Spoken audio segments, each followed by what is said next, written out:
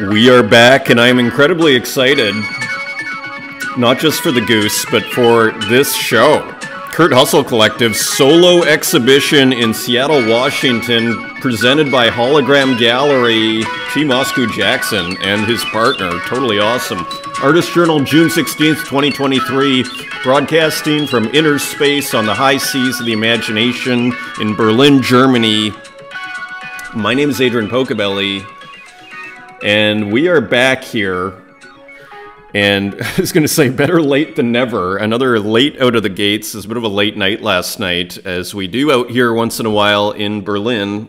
And it was a lot of fun. So, anyways, this is happening. So, 1997, Kurt Hustle Collective solo ex- exhibition. I had to highlight this because, in terms of excitement, as far as just something hitting my screen and my just reptilian, you know, the most basic of basic excitement when I when this information was registered in my, you know, the neurons began to understand what was taking place in this image, I became just incredibly excited. They kept it under wraps there, I think.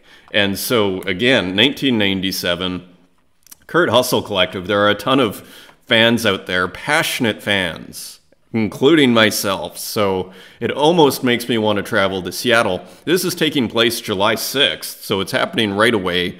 What a, like, this is quite a, would you call it a scoop? I mean, this is quite a brilliant move, in my opinion, from Hologram Gallery here.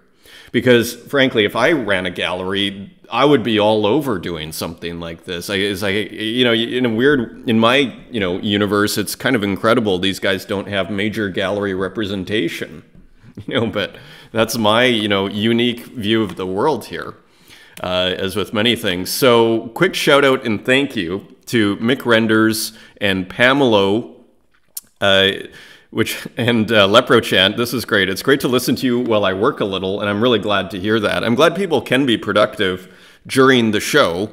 And also, big shout out to Mick Renders, who uh, discusses the GLB that he collaborated with with Dither, and also love the Rakano video game pieces. As an avid retro gamer myself, I can't help it. I know what you mean.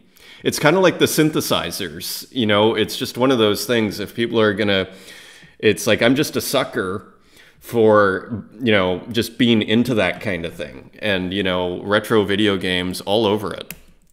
So i hear you. Thank big shout out and thank you to little cakes great little cakes uh, for sending this work here. So we were discussing this yesterday and uh, little cakes wrote uh, copy sent out uh, to Pocobelli for mentioning the Residents reference in the music that accompanies the Hasdrubal Waffle piece.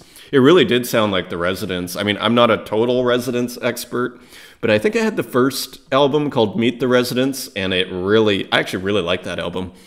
And uh, they have a ton of albums. They're the guys, if you don't know, they were kind of early, you know, like in the, I think late 70s, early 80s, kind of counterculture, new wave.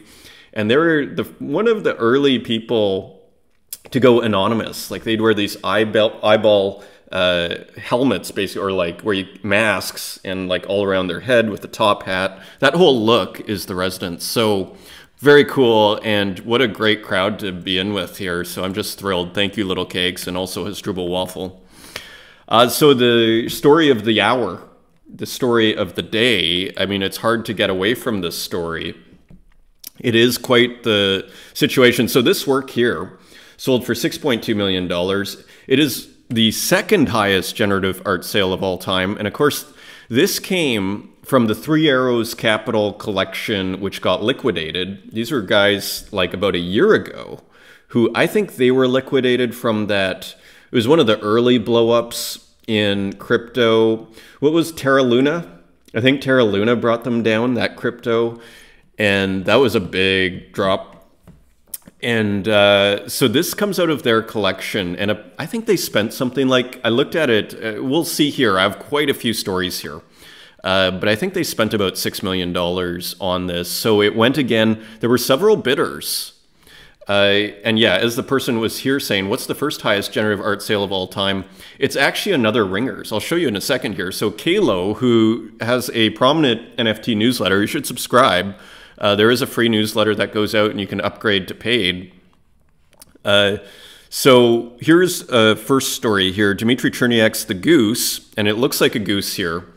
And for those that, you know, maybe aren't like super into blockchain and everything, this came out on Ethereum, and it's kind of like Fidenzas by Tyler Hobbs, also a generative art uh, series.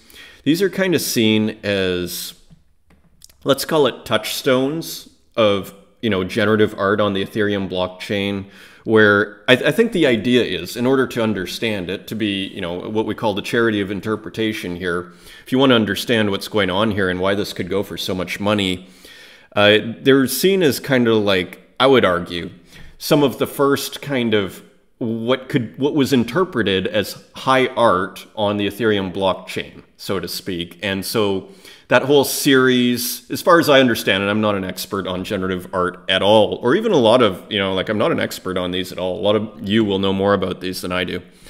Um, but that is, so it has a prominent place in the Ethereum culture. Okay, that's so that is part of the reason. So it's kind of a, and these were like these random dots and lines. I believe it's all computer code, and I believe it's all on chain. Okay, so meaning that it like a lot of NFTs refer to the in, somewhere on the internet or International Protocol File Service or whatever it's called IPFS to reach over and get the image. And so this is all on chain 100%. So that also kind of adds to its mystique. And there is a mystique to this. So let's just continue uh, looking at the story here. Ringer number 879 by Dmitry Cherniak, also known as The Goose, just sold for $6.2 million, including the premium as the hammer price was $5.4 million, eclipsing the two to $3 million estimates. The auction was co coordinated by Sotheby's, New York City, as part of the Grails collection. And again, that's the Three Arrows Capital collection. The event was streamed online and was blazing fast, taking around 20 to 25 minutes to complete and having three bidders competing until the end. That's impressive. The winner was Prominent Collector 6529, and we're going to see some tweets in a second. And here answers that first question that we almost all have What was the top? Uh, the 10 most expensive Ringer NFT sales of all time. So it's actually another Ringer, amazingly. And so uh, Despite the massive sale, the chart doesn't change. So this also so this sold for about 6 million dollars before and but it doesn't go up the rankings. It stays at number 2 as ringer number 109, this one here sold for 7.1 million dollars. So again, in discussing money here, I don't want to like I think there's a lot of excitement. The reason why this is generating so many headlines one could argue is because of the uh, the amount of the sale, and it matters. It doesn't not matter, but I think it's just important as the kind of as the headlines come out left, right, and center. Is time is the real arbiter of whether an art you know of an art piece whether it stands the test of time in a sense like people can throw like is the because we can't start going, oh, well, the Beeple work, because it sold for $69 million, must be 10 times better than this. Right? That's where that logic takes you, and it doesn't really make sense. And then you go, well, what about every other art piece? And so money is a measure, but it's not the measure. I would argue time is the measure, and I just think it's important to mention that as we discuss this. Uh, because sometimes these stories get run away with just the number so just with that, all that being kind of said, and here's just a quick thing on why is it so valuable. It is a collection because of its minimal and well-balanced composition. It is an iconic collection because of its minimal and well-balanced comp composition. One of the first Art Blocks curated collections, and this is a famous kind of series, uh, kind of curated, I believe. Ringers exemplifies the power of generative art, where randomness is at the center stage. And finally, here in Dmitry Cherniak's description, there are almost an infinite number of ways to wrap a string around a set of pegs. On the surface, it may seem like a simple concept, but prepare to be surprised and delighted at the variety of combinations the algorithm can produce. Each output from ringers is derived from a unique transaction hash and generated in JavaScript in the browser. Feature variations include peg count, sizing, layout, wrap orientation, and a few colorful flourishes for good measure. And here are some of the traits. So Kaloh did an excellent job, I might add here. And then there were a whole bunch of tributes here. So Beeple came out, and you were going to see a bunch actually here. So uh, there were a whole bunch of tributes to this massive sale. Uh, which I almost, in a certain sort of way, I almost found surprising, but I guess it makes sense. You know, I guess it's kind of this is a landmark kind of time uh, in in the NFT art space on Ethereum. You know, especially in the generative art space. So here is NFT now with another story here, uh, and here is another. So here's another take on why it's so valuable. It, this is one of the reasons that Ringer 879 is considered so valuable. Beyond being a happy and unintentional accident created indirectly from the mind of the artist who built the guiding algorithm, the improbability of an animal shape emerging from the generative randomness adds to its allure, visual identity, and rarity. Quote In generative art, the artist dictates the relative probability of any particular attribute appearing in an artwork, but the artist is only dictating the probability not the actual number of times a particular attribute appears. Kate Hanna, Artblock's chief experience officer, explained in a recent video from Sotheby's detailing Cherniak's work. And here's Punk6529 celebrating the win. So, yes, and then here's just a little bit more background. Uh, Ringers 879 was minted in January 31st, 2021 by the Kryptonite, who sold it to Pixel Pepe for only 1.26 ETH just four days later. He also received the physical print along with the NFT. It was then purchased by Three Arrows Capital, the now defunct Singapore based crypto hedge fund, on August 27, 2021, for $5.9 million, 1800 ETH. Notably, Vincent Van Doe tried to buy the piece for 500 ETH, but his offer was declined. So it's this, and again, this is part of the Three Arrows Capital liquidation here.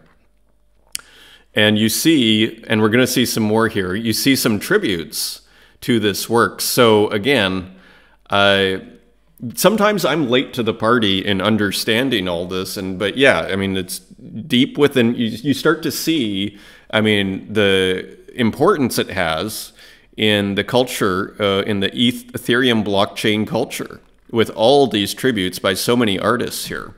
So very interesting. And this was also interesting. So Art News reported on it. And the headline was quite funny. Zachary Small, Sotheby's 3AC bankruptcy auction nets $11 million in what might be a final hurrah for NFTs. You know, from a market perspective, this actually, I think 6529 criticized this headline, but it does feel like, I mean, if what is it called? The market psychology chart Wall Street cheat sheet. I mean, I do agree with you know traders uh, like Gareth Soloway, uh, the great uh, technical trader here. Let me see if I can bring this up big. Uh, here's the Wall Street cheat, cheat sheet.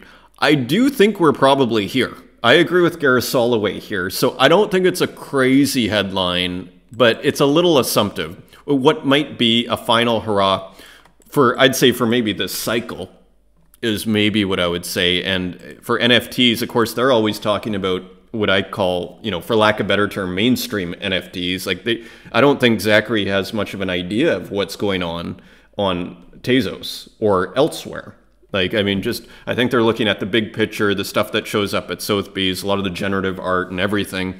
I'm not sure about the awareness. I mean, they may be aware, but I'm not sure about it. So there was something I wanted to see here. Uh, where is it?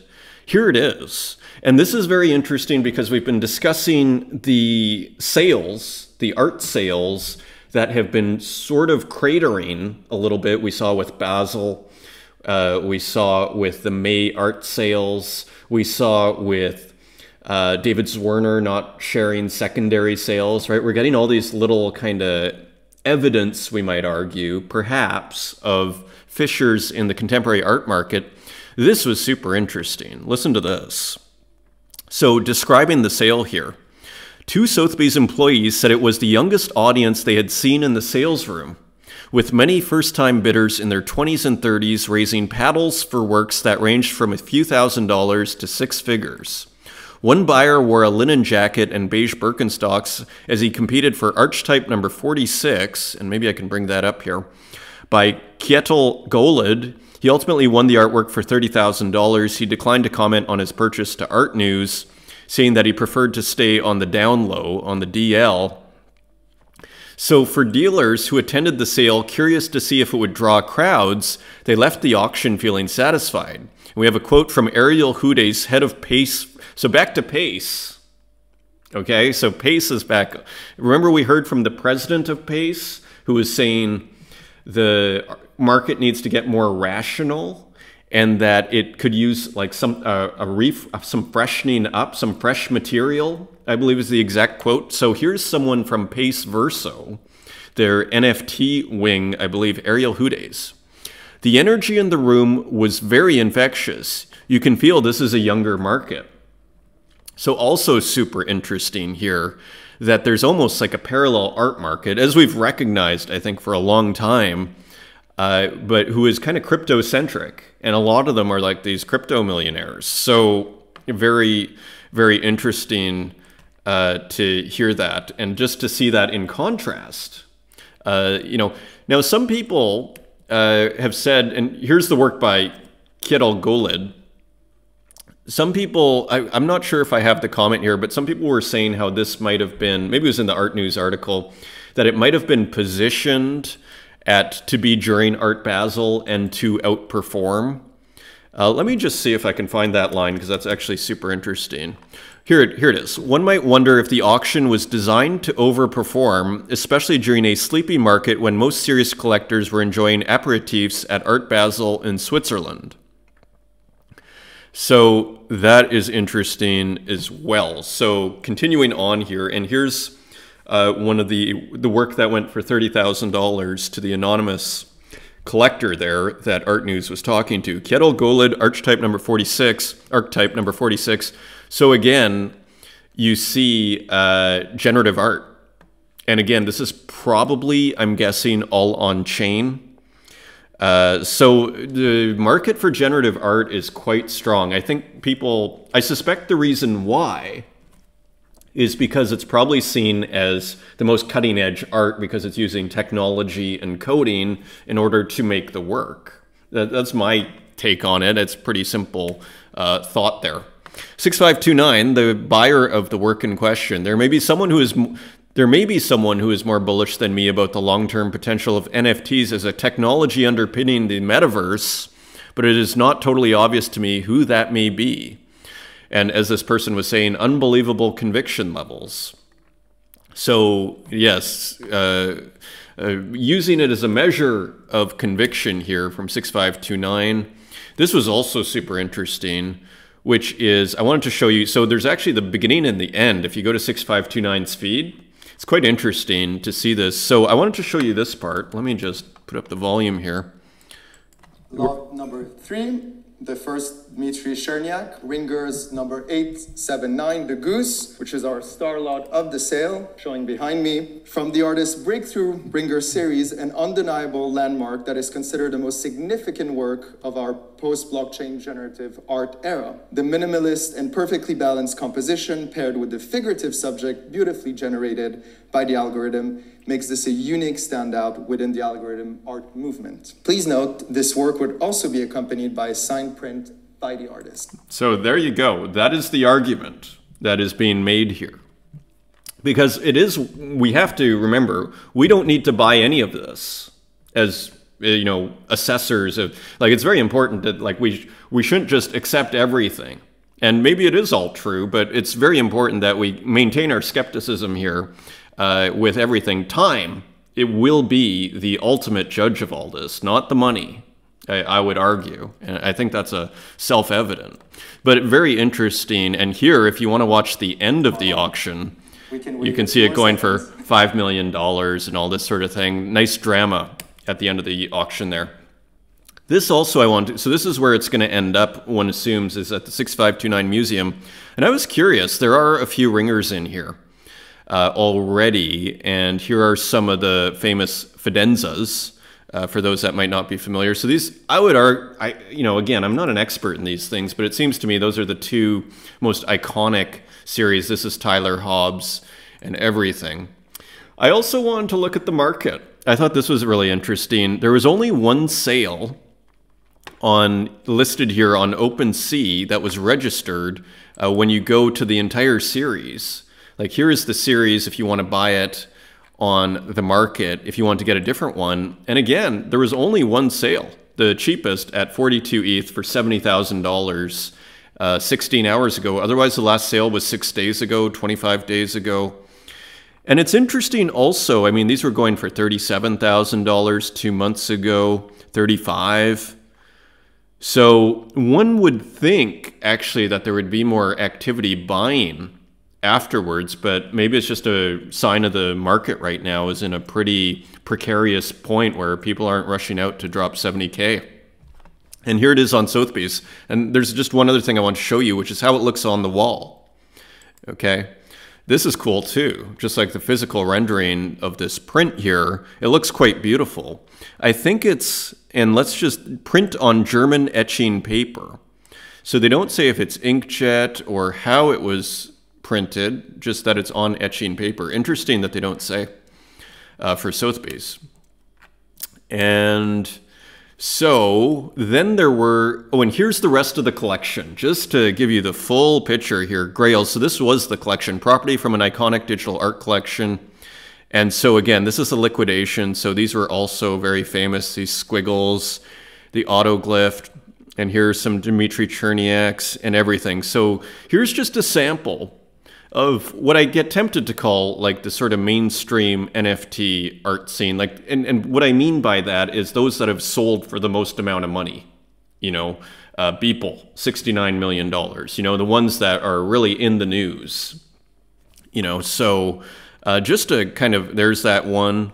Uh, that we just looked at here. There's another one. So just to give us all a picture here, quite a few Dmitry Cherniaks and everything. So just to get a feel of the scene, some CryptoPunks there.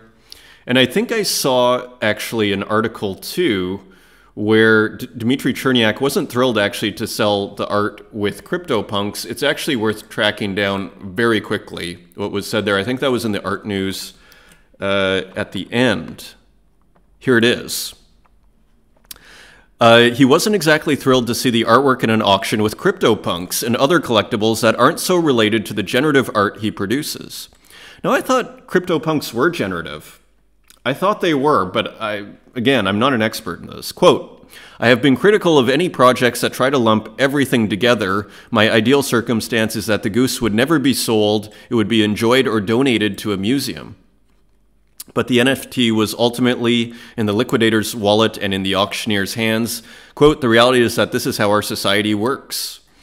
So, interesting, kind of a muted response from Cherniak. Uh, I assume it's an interesting question whether he got a royalty on this, because don't forget, uh, 6529 is back, or Blur the platform that's backed by 6529 got rid of a lot of the royalties, so I'm not sure how it works when you sell on Sotheby's. Interesting question. I mean, because if he got a royalty on that, I assume it's like 10%, which would be something like in the order of $650,000, let's say, or 580. So all very interesting to see how all this play out. And of course, I mean, there's more, like, you see what a huge story is. I couldn't ignore it because, I mean, the art that we look at here is also discussing it. The Goose at Home. So then you see Sabato here. Uh, there were a ton of artists uh, doing homages to the Goose in their own way, and here is Sabato. I love how fast everybody is working here. I mean, because I mean, this is a news story. It comes out, and then here Sabato has his workout within like 24 hours, probably. Pretty impressive. Available for 540. Edition of 44. There are 22 left, and so part of the drawing series. And here is Popple with a goose. I don't think he minted this. This looks like an 8 Badu work, though, doesn't it? 8 by 8 here. Really nice piece, actually. Uh, and another work by Uxine. Am I doing it right? Using the check marks, which I believe were used at during the Pepe time for some other, I think, was it Vincent Van Gogh? I don't remember. Uh, but here it is, another goose using these check marks here. Uh, so, and finally, Cableen, a prominent curator on Objkt, uh, posted a whole bunch. So again, Grant Riven Yun and a lot of the heavy, you know, hitters, uh, there and more, uh, as you can see. So Des Lucrece, Lucrece, Beeple. So here is the full, you know, story here for you. As you can see, the blockchain NFT scene is buzzing. Alpha Centauri Kid. It's almost like everybody had to have their goose, their goose rendition. Uh, so there it is, uh, and I mean, just it's all over, all over the place. Here's another one, Luis Pon, and more. So yeah, it just keeps going. So you see uh, the significance there, and there's Popple. Popple did a great job, uh, as everybody did. Dan Control. Moving on to other animals here, a snake, a beautifully rendered snake here by Dan Control the virtuosity of what Dan is doing continues to develop. And this is just another wonderful composition here. And would again, we just saw the goldfish, I think, yesterday. So six Tezos. I think that's still on primary, nine left. So nice piece for $4.35, part of the all animals, all an, all an, all animals, however that's pronounced. Uh, so that is selling now. And another one here, another animal piece. This is an artist I've never seen before, but just came across on Twitter here. And here's what looks like a rooster. Biased Decisions. This came out in mid, or was sold in mid May, came out April 30th. And again, I think this artist's name is, is Cider, C Y D R, just kind of an interesting artist here. Kind of reminded me almost like a, a combination of Graphica PNG and Osborne. That's almost what this feels like, somewhere in between here.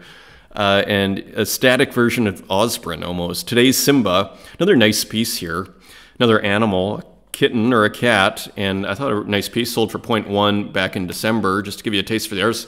Ah, this was great. Uh, this microwave here, very interesting work. Like quite nice, sold for 0.33 ETH, and that was in December.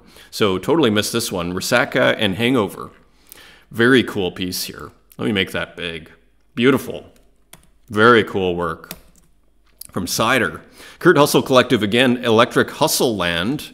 And so playing off of the Jimi Hendrix experience here, Electric Hustle Land, Electric Ladyland, and these beautiful, awesome puppets. Gotta love the half open mouths and everything. So that is available from Kurt Hustle Collective, and they have they have sold for five, and the listing has been canceled. You might be able to put an offer in though, if you want one.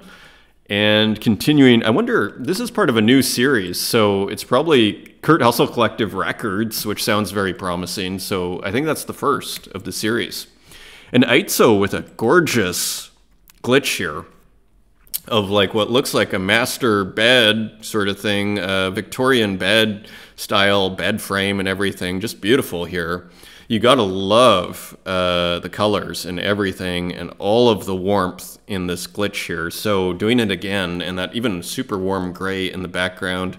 Beautiful work available on secondary for 16 Tezos. So sold out. And yeah, sold out at seven Tezos and it didn't take long in less than two hours. So that is cool. Plus, was Gamma crash?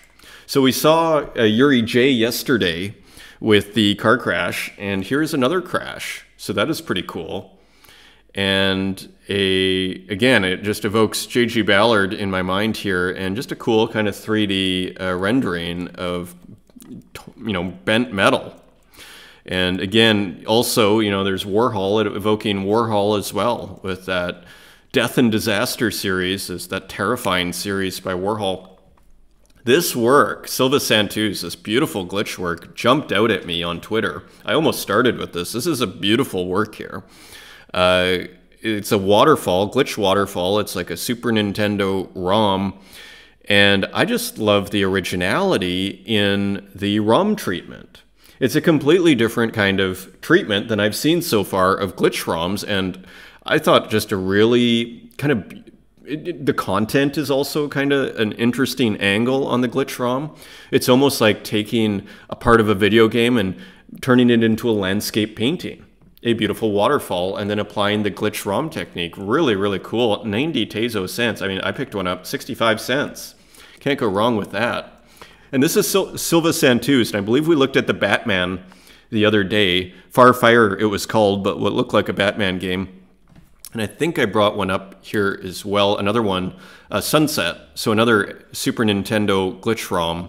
And again, uh, feels like, you know, sp- specifically, it's almost like turning these into like landscape paintings or turning, you know, frames from a video game into basically a kind of narrative painting, which I think is pretty cool uh, and really interestingly done uh, with the big kind of, I want to call these hexadecimal pixels, but I don't know if that's right. I mean, usually it's the color that's hexadecimal. Stipend Pixel with an experimental collaboration here, I think. This is the gen genesis to create the collab with Ferdo Peza, where we combine generative art and pixel art. So more generative art here. It almost reminds me of when you'd make uh, pixel art with AI, but I don't think that's what's going on. I think it might be otherwise. And so different renderings here of the uh, house, of a pixelated house. So maybe this is the first part, Symphony Home, and then maybe uh, Ferd, Ferdoro Peza will do something with this. So cool work here by Stipend Pixel and a couple of others. Also, we looked at, it's almost like these kids against a matrix backdrop here.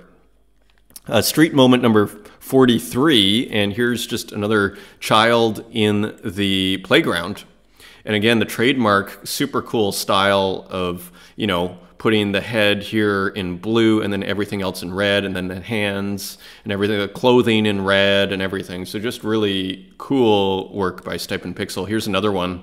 Again, a kind of matrix-like background here, uh, but could be like a slide, someone going down a slide, a kid going down a slide and having fun. And the color reversal here, where the head is red and then the clothing and the background are blue. So kind of a nice pairing here, aren't they? They go well together. Datura with a quick work here. Indecision, what should we do? And this one kind of mystified me a little bit because oftentimes we see landscapes of sorts with Datura. So, but we have seen also, I guess, these kind of animated abstract works because this one isn't clearly an object. It kind of could be a stone that's kind of coming apart. Let's actually, because we have actually looked, I should say, at other animated abstract works by Datura. Oh, this might crash my mic. I might have to keep going here. I'm going to keep going. Uh, so anyways, a new one by Datura, which looks great, by the way. How much is that selling for? Uh, two Tezos and edition of 100. So that is cool. And how many are left? 50 left, so maybe 50 listed. Cool work from Datura. And another kind of, what would you call this? Is this generative? This is like minimal art. Let me make sure it's running here. This is by Jose Gasparian. So kind of minimal animated abstract art. I may have to restart this too. And let's see if we can get it going here. Jose Gasparia. We'll let that load while, let's see if it works. We'll let that load. Here it is. Well, we're going to go to this one and then we're going to come back. Lucas Lejeune, Ancient Script. So, kind of almost reminiscent vaguely of Popple's works in the size of the pixels here. Uh, we've looked at Lucas Lejeune's work before, so kind of a nice pixel size, though. I'm guessing that's something like maybe 100 by 100 pixels. Maybe it says here just 1080p. And so cool subject matter, ancient script, and it looks like it. So almost like a made up script by Lucas Lejeune. You know, Max Ernst actually did that in some of his work. Uh, what do we call that again? Here's there's a, a asemic writing where the writing is kind of a visual representation, but it's like a, a sign with no meaning, basically there's a signifier but no signified, so to say, so to speak. Let's see if we can get Jose Gasparian's work. Okay, it's coming ever so slowly. And otherwise, we might have to show this on another episode here. It's coming. Here we go. We'll let that keep loading here. And here's also Lucas Lejeune's work here. And I think we looked at it just a work the other day uh, that was, again, using these kind of vectors that are generative. Uh, continuing on, Louis Osborne uh, with Party Time. So, pretty fun work. It's Friday. Hallelujah. And there is a disco ball with some little figures bouncing off the disco ball. So, a very fun work. It's an addition of 100 for 5 Tezos. There are 46 left. And let's see if we can finally, finally, finally get Jose Gasparian's work working. I don't think we're going to get it working. It is too tricky, and we'll have to bring it up another show as it slowly creeps over. What else is new as this loads up? I was at a show yesterday. I went to a wonderful art show yesterday at Levels Gallery, and it was actually a ton of fun. It's a photo gallery in Weissensee, for those that know Berlin, kind of in the north of the city. And and it was a wonderful time, actually. And if you go to my Instagram, you'll see some of the pictures actually from that show. Great night. And here is the work Jose Gasparian, a minimal, abstract, animated abstract work, just kind of cool, uh, playing with circles, spheres, and stretching them out. And just a nice, simple work here. Simple concept. Uh, and there are 10 available, and none have been listed yet. And continuing on Stulka, as we wrap up here, Not a Digital Nomad, which is kind of cool title. And of course, Stulka is an awesome uh, illustrator who often portrays, you know, what looks like maybe her and her friends or her life and this sort of thing. And there's the Woman Artiste book with the suitcase that's open and everything. Just a cool work. One of one for 15 Tezos. Let's see how much time in this auction. They're one day and 14 hours. So that is interesting. I might try and pick that up. And here's another one of one at auction, kind of playing with a bit of a comic book format here from Stulka. Chapter one, nice to meet you, and everything. So you can read the comic. It's, it's an interesting concept to use a comic as a kind of uh, structure for a painting, which kind of feels, this seems like half comic, half painting here. And so interesting kind of combining of the mediums here from Stulka. And here's a painting by Stulka that's also at auction for 15 Tezos. So a few different kind of experiments here. Pouvoir de la chatte, the power of the cat. And so a, another cool work here by Stulka with a cat, young woman, just a cool portrait and everything. Kind of has a modernist feel to it. I like how she puts the writing in here too. So very cool, also at auction for 15 Tezos, which these days is almost free. I mean, it's probably like $10. RJ and Explainer Gallery have put out a work, uh, Let the Market Work for You. So again, I'm kind of wondering, has RJ, this is a very important thing if you didn't hear the RJ uh, Twitter spaces, which I highly recommend. RJ is, if some of these works you're wondering, if they seem familiar, but you don't, uh, you know, recognize the composition, because RJ, as he was saying, he's using AI to recreate works and then he will, you know, trace or use that as a reference to make a new work. So he'll take Hockney or Edward Hopper and then get AI to make different versions of those works and then maybe he'll take one of those or whatever he does, but he's using AI. And here he's also been playing with glitch a little bit, interestingly. So here it is, kind of a reference to trading. The trader is no longer only in the pits of investment banks or shackled to a terminal. So Explainer Gallery has been doing this series that focuses on trading as the theme.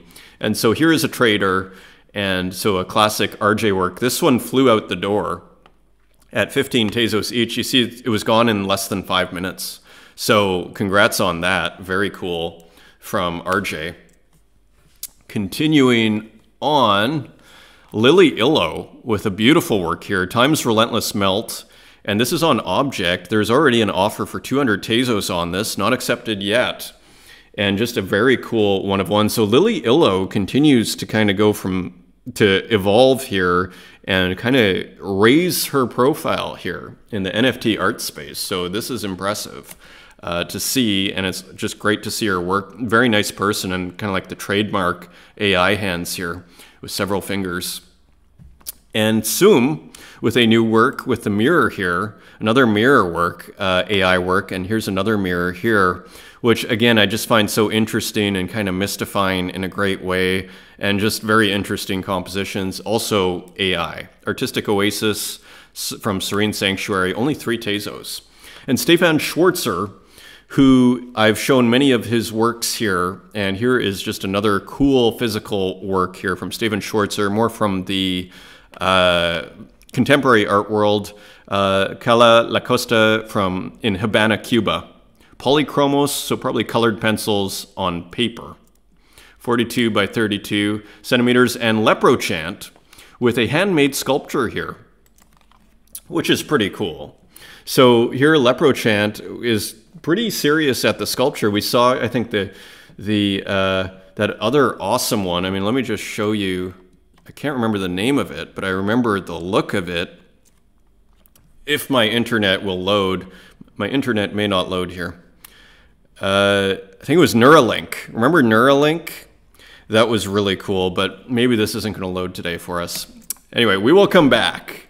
And until next time, my friends, thank you for joining me. Have a great weekend and everything. Until next time, take care.